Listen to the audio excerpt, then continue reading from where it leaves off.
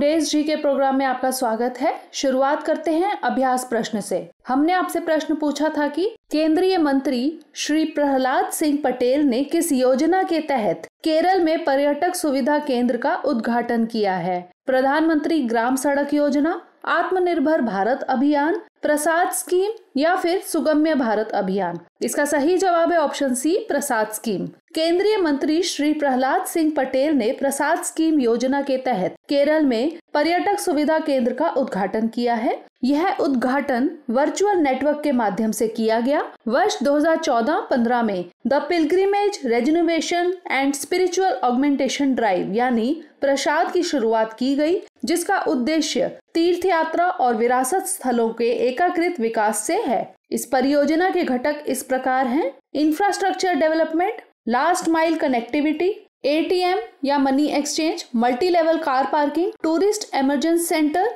CCTV network infrastructure आदि। तो इस तरह इस प्रश्न का सही जवाब है ऑप्शन सी हमारे वीडियो अंग्रेज़ी में देखने के लिए फॉलो करें।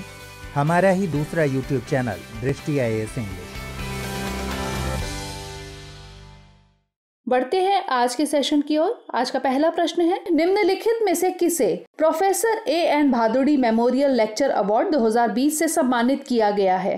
Doctor Sanjeev Reddy, doctor Sushant Kar doctor Saman Habib या फिर डॉक्टर अर्चना सिंह। इसका सही जवाब है option B, doctor Sushant Kar हाल ही में डॉक्टर सुशांत कार को society of biological chemist India द्वारा professor A N Bhaduri memorial lecture award 2020 से सम्मानित किया गया है। डॉक्टर सुशांत कार के नेतृत्व में हुए अनुसंधान में मैक्रोफेज डेंड्राइटिक कोशिकाओं और टी कोशिकाओं जैसी प्रतिरक्षा कोशिकाओं के साथ लीशमैनिया के संपर्क का अध्ययन किया गया। आपको बता दें कि लीशमैनिया डोनोवनी एक प्रोटोजोआ परजीवी है जो कि कालाजार का कारण बनता है। तो इस तरह इस प्रश्न का सही जवाब है ऑप्शन बी।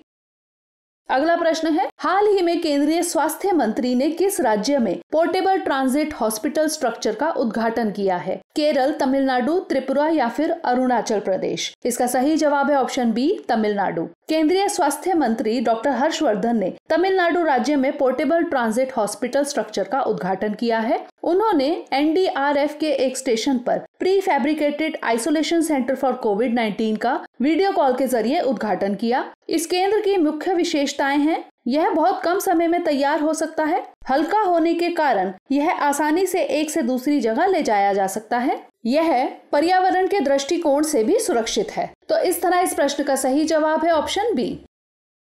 अगला प्रश्न है, हाल ही में निम्नलिखित में से किसने भारत में कार्यस्थलों यानी वर्क प्लेसेस के लिए नए मानसिक स्वास्थ्य मानदंड की शुरुआत की है? आरोग्य वर्ल्ड, आयुष मंत्रालय, रिलायंस ग्रुप या फिर अमेजन? इसका सही जवाब है ऑप्शन ए, आरोग्य वर्ल्ड। आरोग्य वर्ल्ड ने भारत में कार्यस्थलों के लिए नए मानसिक स्वास्थ्य मानदंड की शुरुआत की है। यह भारत में अपनी तरह का पहला प्रयास था जिसे आरोग्य वर्ल्ड ने कोविड काल में व्यापार जगत और एचआर लीडर्स के बार बार के अनुरोध पर शुरू किया। मापदंड का नया set wellbeing managing stress leadership और स्पोर्टिंग रिकवरी को बढ़ावा देने जैसे कई पहलुओं को कवर करता है। इससे भारत के कार्यबल को स्वस्थ रहने और अधिक उत्पादक बनने में मदद मिलेगी और भारत की भविष्य की वैश्विक प्रतिस्पर्धा में वृद्धि हो सकती है। तो इस तरह इस प्रश्न का सही जवाब है ऑप्शन ए।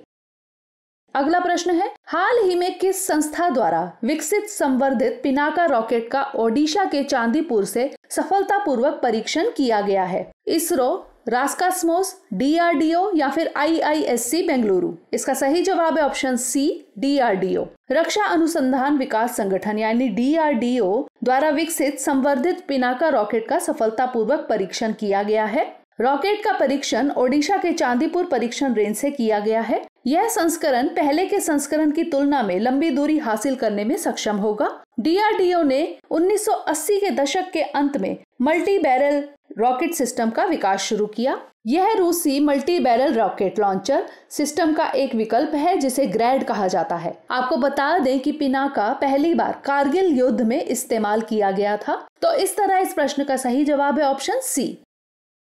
अगला प्रश्न है, भारत ने किस देश के साथ खगोल विज्ञान के क्षेत्र में वैज्ञानिक और तकनीकी सहयोग को बढ़ावा देने के लिए समझौता ज्ञापन को मंजूरी दी? जापान, चीन, अमेरिका या फिर स्पेन? इसका सही जवाब है option D, Spain. PM Modi की अध्यक्षता में केंद्रीय मंत्रिमंडल ने भारत और स्पेन के बीच समझौता ज्ञापन को मंजूरी दी है। यह एम ओ यू खगोल विज्ञान के क्षेत्र में दोनों देशों के बीच वैज्ञानिक और तकनीकी सहयोग की सुविधा प्रदान करेगा। समझौता ज्ञापन पर स्पेन के इंस्टीट्यूटो डी अस्त्रोफिजिया डी कैनारियस और भारतीय खगोल भौतिकी संस्थान के बीच हस्ताक्षर किए गए। स्पेन के भारत के लिए शीर्ष निर्यात लोहा, कपड़ा, इस्पात, समुद्री भोजन, कार्बनिक रसायन, चमड़ा और ऑटोमोबाइल है। Organisation for economic cooperation and development, यानी ओ e द्वारा जारी FDI regulatory restriction index ranking के अनुसार स्पेन सबसे कम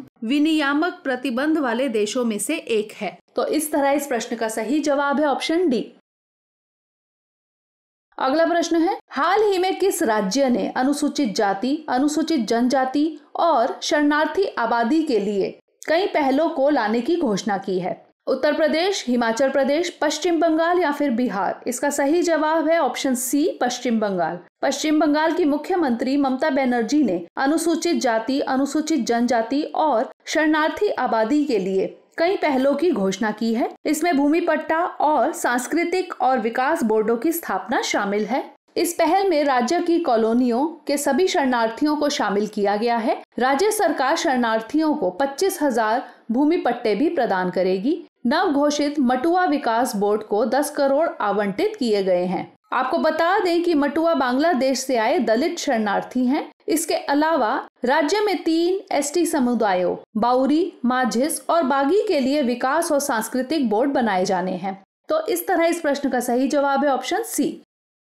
अगला प्रश्न है, हाल ही में केंद्रीय मंत्रिमंडल ने स्वास्थ्य और चिकित्सा के क्षेत्र में सहयोग के लिए किस देश के साथ समझौता ज्ञापन पर हस्ताक्षर किया है? अफ़गानिस्तान, जर्मनी इसराइल या फिर ग्वाटेमाला? इसका सही जवाब है option C Israel PM Modi की अध्यक्षता में केंद्रीय मंत्रिमंडल ने स्वास्थ्य और चिकित्सा के क्षेत्र में भारत और इसराइल के बीच हस्ताक्षरित समझौता ज्ञापन को मंजूरी दी। समझौते के प्रमुख विषय निम्नलिखित हैं। चिकित्सा डॉक्टरों और अन्य पेशेवरों के आदान प्रदान और प्रशिक्षण के लिए स्वास्थ्य देखभाल सुविधाओं की स्थापना में सहायता करना, चिकित्सा उपकरणों फार्मास्यूटिकल्स और सौंदर्य प्रसाधनों से संबंधित सूचनाओं का आदान प्रदान करने के लिए सार्वजनिक स्वास्थ्य कार्यों और जलवायु जोखिमों के खिलाफ विशेषज्ञता साझा करने के लिए आपसी अनुसंधान को बढ़ावा देना, दोनों देश अपने प्रतिनिधियों को सेमिनार, कार्यशालाओं, संगोष्ठियों और सम्मेलनों में भाग लेने के लिए प्रोत्साहित करेंगे। तो इस तरह इस प्रश्न का सही जवाब है ऑप्शन सी। अगला प्रश्न है, हाल ही में केंद्रीय मंत्रिमंडल ने 210 मेगावाट के Lohri stage one hydro power project के निवेश प्रस्ताव को मंजूरी दी है। यह पावर प्रोजेक्ट किस नदी पर बनाया जाएगा? गंगा, यमुना श्योक या फिर सतलज? इसका सही जवाब है option D, Satluj.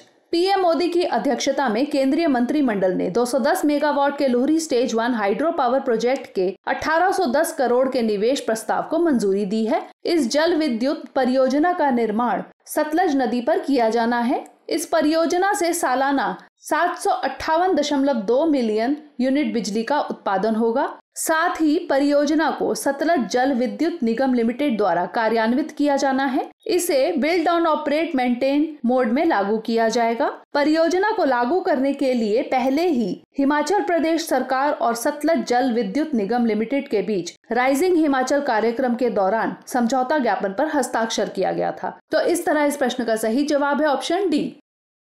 अगला प्रश्न है संयुक्त राज्य अमेरिका ने किस देश के साथ एक संयुक्त नौसेना अभ्यास कैरेट का आयोजन किया है? ऑस्ट्रेलिया, बांग्लादेश, भारत या फिर जापान? इसका सही जवाब है ऑप्शन बी, बांग्लादेश। बांग्लादेश और संयुक्त राज्य अमेरिका ने एक संयुक्त नौसेना अभ्यास कैरेट का आयोजन किया है। यहाँ कैरेट का अर्थ cooperation afloat readiness and training है। यह अभ्यास बांग्लादेश के चटगांव में आयोजित किया गया। इस अभ्यास में maritime domain awareness sea training at replacement समुद्र में कानूनी नियम और मानव रहित एरियल व्हीकल के एविएशन के आधार पर प्रैक्टिस शामिल है। यह Bangladesh, Cambodia, Brunei, Indonesia, Philippines, Malaysia, Sri Lanka Singapore और थाईलैंड जैसे देशों के साथ अमेरिकी प्रशांत बेड़े द्वारा आयोजित वार्षिक द्विपक्षीय सैन्य अभ्यास की एक श्रृंखला है। इस अभ्यास का फोकस मुख्य रूप से आसियान पर है। हालाँकि, यह गैर आसियान सदस्यों जैसे श्रीलंका और बांग्लादेश के साथ भी आयोजित किया जाता है। तो इस तरह इस प्रश्न का सही जवाब है ऑप्शन बी। अगला प्रश्न है, हाल ही में किस राज्य ने अपनी शक्तियों का प्रयोग करने के लिए सीबीआई को दी सामान्य सहमति वापस ले ली? केरल, असम, त्रिपुरा या फिर मध्य प्रदेश? इसका सही जवाब है ऑप्शन ए, केरल। हाल ही में केरल ने अपनी शक्तियों का प्रयोग करने के लिए सीबीआई को दी सामान्य सहमति वापस ले ली? केरल सीबीआई को दिल्ली पुलिस स्थापना अधिनियम के तहत अपनी शक्तियाँ इस्तेमाल करने के लिए दी गई सामान्य सहमति वापस लेने वाला पांचवा राज्य बन गया है। इससे पहले महाराष्ट्र, पश्चिम बंगाल, राजस्थान और छत्तीसगढ़ ने भी सीबीआई को दी गई सामान्य सहमति वापस ले ली थी। तो इस तरह इस प्रश्न का सही जवाब है ऑप्शन ए। बढ़ते हैं आज के अभ्यास प्रश्न की ओर। ड्राइवरों की कमी के कारण भारत सरकार ने जनजातीय क्षेत्रों और देश के कितने सबसे गरीब जिलों यानी पुअरेस्ट डिस्ट्रिक्ट्स में चालक प्रशिक्षण केंद्र स्थापित करने की बात कही है। 80, 115, 160 या फिर 200 इसका उत्तर हमें कमेंट सेक्शन में ज़रूर भेजिएगा। अगले सेशन में दोबारा मिलेंगे नए प्रश्नों और उनके उत्तर के साथ। तब तक के लिए धन्यवाद।